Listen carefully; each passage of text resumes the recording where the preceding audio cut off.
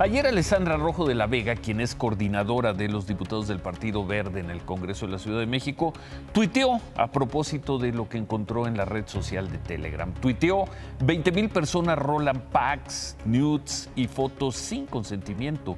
Como otras mujeres estoy viendo cómo mis fotos desnudas se rolan entre puercos misóginos. Y tuiteó más con esa dureza.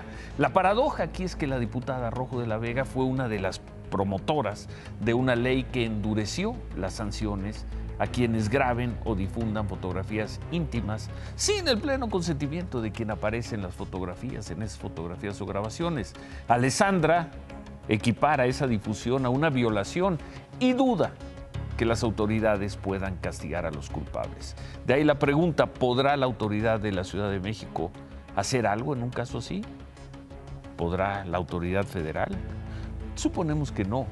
Y que no importan las leyes, porque en materia de protección digital, porque ante las agresiones, las violaciones digitales, Alessandra y todos nosotros seguimos desnudos.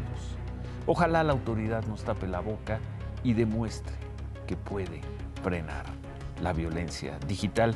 Ojalá, porque pues tecnología ya debería haberla.